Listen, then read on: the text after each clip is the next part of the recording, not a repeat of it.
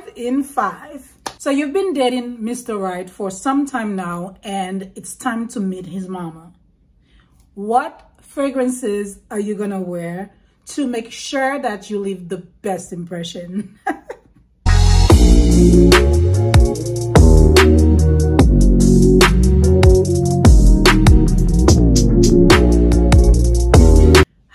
guys, welcome back to my channel. My name is Sharline for those of you who are new and to my loyal subscribers, thank you as always for coming back. On today's episode of 5 Reasons Why, we're going to talk about 5 perfumes you should wear when you meet his mom because we want to leave a lasting impression. We want to make sure that we are mother-in-law approved. If you want to see the fragrances I'm about to recommend and why I think you should wear them, please keep watching. At number five, we have Ariana Grande's Cloud. To me, this fragrance is very sweet, youthful, and very cheerful. It's a feel-good fragrance. When you meet your guy's mother for the very first time, if you're wearing this fragrance, this one definitely is gonna make her know that you will keep her son happy and you will keep things interesting. You will instantly inspire her to like embrace life and to enjoy the moments. She cannot help but smile and feel happy when you're around. So if you're trying to get that mother-in-law stamp of approval, I feel like this is a good one to go with. At number four, we have Mon Guerlain by Guerlain. This fragrance bottle is so stunning. I just can't. When I smell this fragrance, the words that come to mind instantly are clean, nurturing, open, loving, caring. Lots of words come to mind.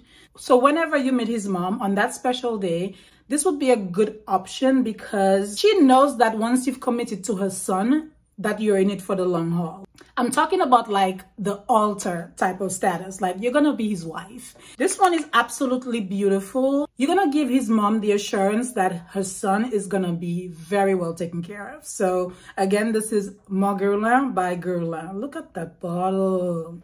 At number three, we have Sì Fiori by Giorgio Armani. Of course, this one had to be on my list. To me, this fragrance evokes kindness, femininity. It's like a very pure, beautiful fragrance.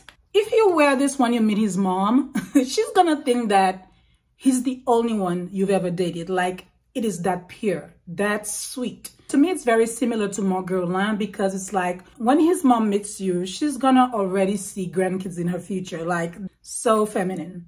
Yeah, definitely grandbaby status on this one. Coming in at number two, we have Coco Mademoiselle by Chanel. You're probably thinking, why on earth would I want to wear Coco Mademoiselle when I meet his mom? Well, let me tell you. When she smells this on you, she's immediately gonna think that you're from money, okay? Who doesn't love a rich daughter-in-law?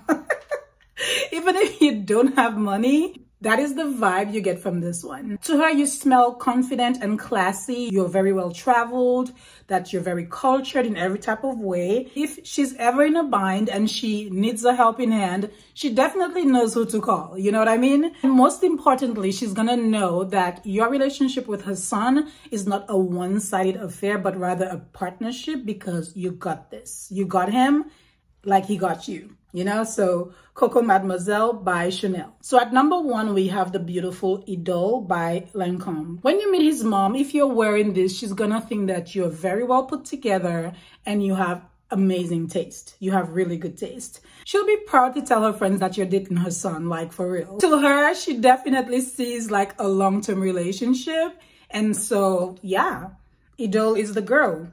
Idole is that chick if you're ever meeting his mom and you want to leave a lasting impression, I recommend one of these fragrances because I guarantee you she will not be able to resist you. Because you will definitely check all the right boxes and yeah. I hope you enjoyed today's episode because it was really fun to put together the concept. So don't forget to like share and subscribe and i will see you in my next installment of five reasons why.